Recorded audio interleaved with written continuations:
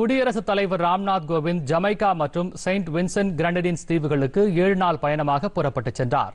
புதுதில்லியிலிருந்து நேற்று தனி விமானத்தில் ஜமைக்கா சென்ற குடியரசுத் தலைவர் அந்நாட்டு நாடாளுமன்ற கூட்டுக் கூட்டத்தில் உரையாற்றுகிறார்.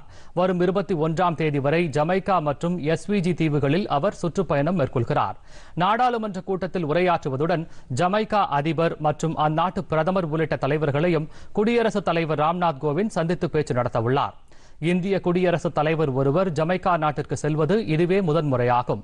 இரு நாடுகளுக்கும் இடையே நட்புறவு நீடித்து வரும் நிலையில் இருதரப்பு உறவுகளை மேலும் மேம்படுத்தும் வகையில் குடியரசுத் தலைவரின் இந்த பயணம் அமையும் என்று வெளியுறவுத்துறை அமைச்சகம் தெரிவித்துள்ளது.